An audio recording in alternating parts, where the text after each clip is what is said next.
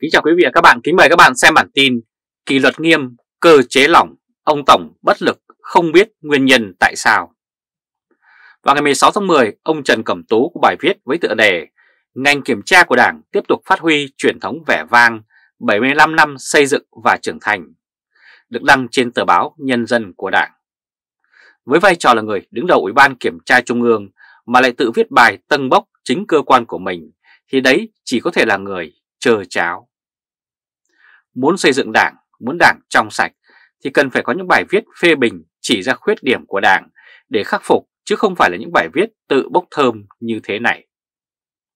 Đây là căn bệnh mãn tính của Đảng Cộng sản, chỉ thích được tân bốc, không thích bị phê bình, mặc dù họ vẫn ra giả mấy chữ phê và tự phê. Bài viết của ông Trần Cẩm Tú đăng trên tờ báo Nhân dân của Đảng. Theo ông Trần Cẩm Tú, xử lý kỷ luật đảng phải nghiêm minh, kịp thời. Có lẽ 12 năm làm Tổng Bí Thư, ông Nguyễn Phú Trọng đã dùng Ủy ban Kiểm tra Trung ương để trừng trị rất nhiều người. Nhìn vào lượng quan chức bị kỷ luật và nhất là những người bị tống vào tù thì có thể nói ông Nguyễn Phú Trọng là Tổng Bí Thư mạnh tay nhất so với các đời trước đây. Nguyên nhân là từ khi mở cửa ra, kinh tế phát triển, tiền trong dân nhiều hơn nên quan chức tha hồ rút tỉa. Đó là một trong những nguyên nhân khiến cho quan tham trong Đảng Cộng sản trở nên nhiều hơn trước. Hơn nữa, ở thời kỳ mà Internet, đặc biệt là mạng xã hội trở nên phổ biến, cái ăn của dân dễ bị tố cáo hơn trước. Người dân thì chịu oan ức có bất bình, đều có thể phơi bày chứng cứ trên mạng cả. Đảng Cộng sản hiện nay và Đảng Cộng sản thời trước năm 1986 chẳng khác nhau về mặt chính trị, chỉ khác nhau về mô hình kinh tế. Bản chất của Đảng thì vẫn thế, cũng cơ chế đó đã đúc lên những con người cộng sản để cai trị xã hội, nên những điểm yếu cố hữu như duy ý chí, kém tầm nhìn, thiếu khả năng quản lý và đặc biệt là tham lam vô độ. Với những đặc điểm này thì không thể nào cải thiện được tình trạng tham nhũng, tác trách trong bộ máy công quyền. Kỷ luật nguyên chỉ là hớt phần ngọn, còn phần gốc vẫn còn nguyên. Thậm chí nguyên nhân sinh ra nó vẫn không được giải quyết. Ông Nguyễn Phú Trọng trong vai trò là người đứng đầu tiểu ban nhân sự của Đại hội Đảng lần thứ 13, chính ông đã thông qua những nhân sự như Nguyễn Đức Trung, Chu Ngọc Anh, Nguyễn Thanh Long, Vũ Đức Đàm, Phạm Bình Minh, Nguyễn Xuân Phúc, vân vân.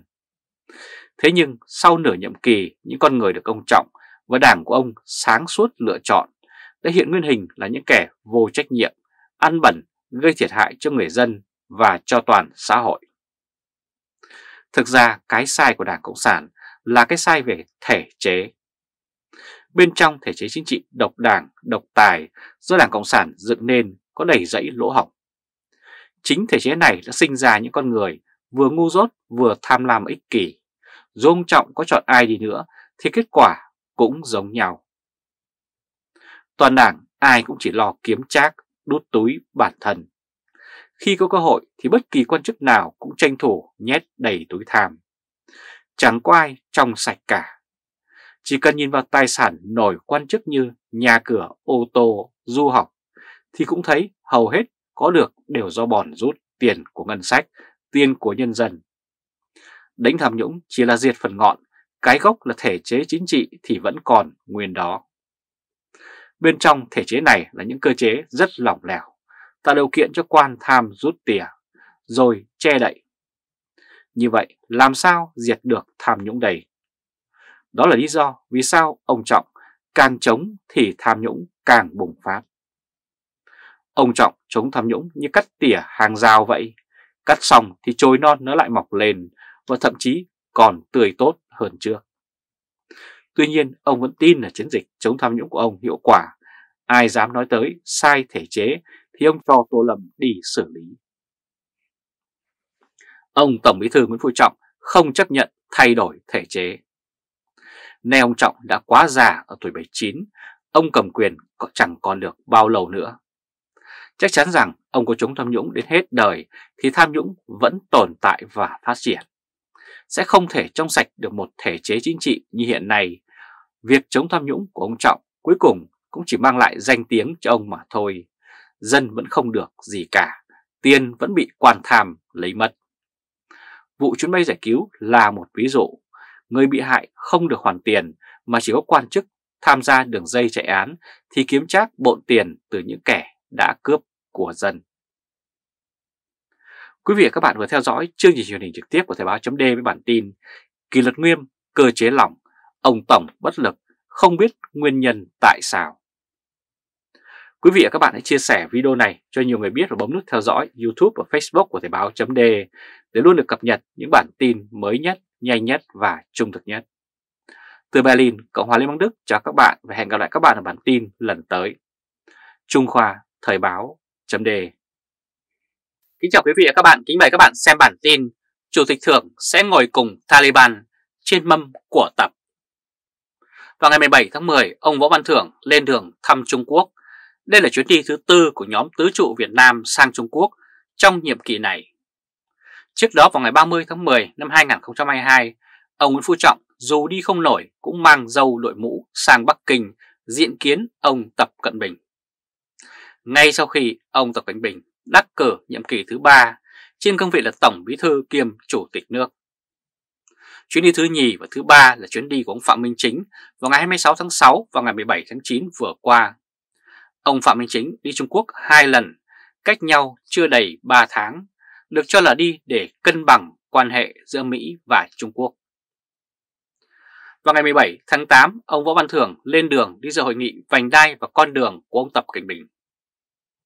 Như vậy là nhóm lãnh đạo cao nhất của Đảng Cộng sản Việt Nam gồm tứ trụ thì đã có tam trụ sang tàu diện kiến. Chỉ còn lại trụ Chủ tịch Quốc hội, vậy trụ này bao giờ mới sang tàu?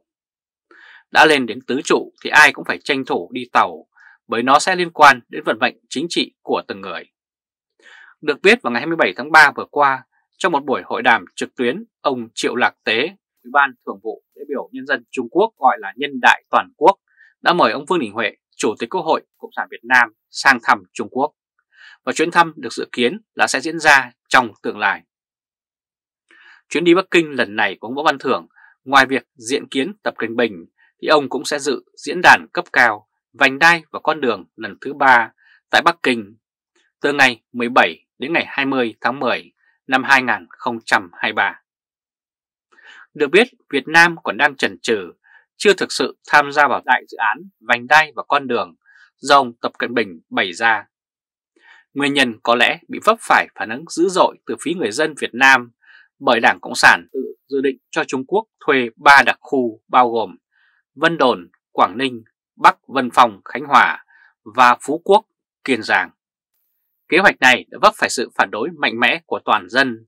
Đảng Cộng sản rất rắn với dân, nhưng họ cũng biết sợ dân. Bởi nếu bán nước cho công khai thì người dân sẽ bất chấp sự sợ hãi và chống tới cùng. ắt Đảng Cộng sản cũng sẽ hiểu điều đó và chuyện gì sẽ xảy ra. Taliban cũng được tham dự hội nghị vành đai và con đường của Tập Cận Bình.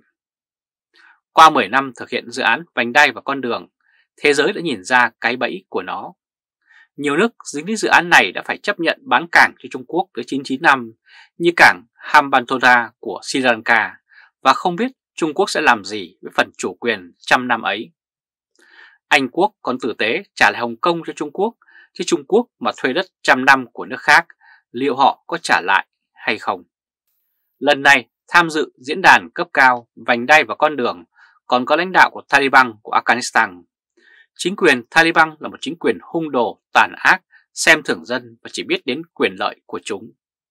Chính quyền này về bản chất khá giống với chính quyền Cộng sản, bởi những loại chính quyền như thế rất dễ bị mua chuộc bằng thứ quyền lợi kinh tế trước mắt hoặc bằng những khoản trao tay mở ám. Hiện nay, Việt Nam đang đi dây thăng bằng giữa Mỹ và Trung Quốc. Theo những gì ông Hà Kim Ngọc, Thứ trưởng Bộ Ngoại giao nói chuyện tại câu lạc bộ Thăng Long, thì ông ta cũng thừa nhận trước khi tiếp Tổng thống Mỹ thì phải thăm Trung Quốc. Đây là cách để không làm phật lòng Trung Quốc. Thông tin về chuyến thăm Mỹ và việc nâng cấp quan hệ với Mỹ cũng được ông Tổng Bí thư Nguyễn Phú Trọng báo trước với Tập Cận Bình. Việt Nam đang ở trong quỹ đạo Trung Quốc mà không dám cắt đứt ra hẳn. Việt Nam không dám từ chối thẳng thừng những ràng buộc bất lợi do Trung Quốc đưa ra. Việt Nam đang bị kẹt bởi lỡ đu dây nên khó tiến sát về một trong hai đầu. Gần Mỹ cũng không được vì sợ tàu, mà nghe lời tàu hoàn toàn cũng không thể vì dân không thích thế. Có lẽ vì vậy mà Đảng Cộng sản cứ một chân trụ hữu danh vô thực như Võ Văn Thưởng đi sang để dự trăng. Ông Trọng cũng có lý do từ chối vì hiện nay sức khỏe của ông yếu thật. Chính bác sĩ của ông đã xác nhận ông không thể đi. Và hơn nữa, ông cũng chẳng thể tới Washington được, và đấy cũng là lý do xác đáng để không phải cà lết sang Bắc Kinh một cách khổ sở như một năm trước đây. Quý vị và các bạn vừa theo dõi chương trình truyền hình trực tiếp của Thời báo chấm với bản tin Chủ tịch thưởng sẽ ngồi cùng Taliban trên mâm của tập. Quý vị và các bạn hãy chia sẻ video này cho nhiều người biết và bấm nút theo dõi YouTube và Facebook của Thời báo chấm để luôn được cập nhật những bản tin mới nhất, nhanh nhất và trung thực nhất. Từ Berlin, Cộng hòa Liên bang Đức chào các bạn và hẹn gặp lại các bạn ở bản tin lần tới. Trung Khoa Thời báo chấm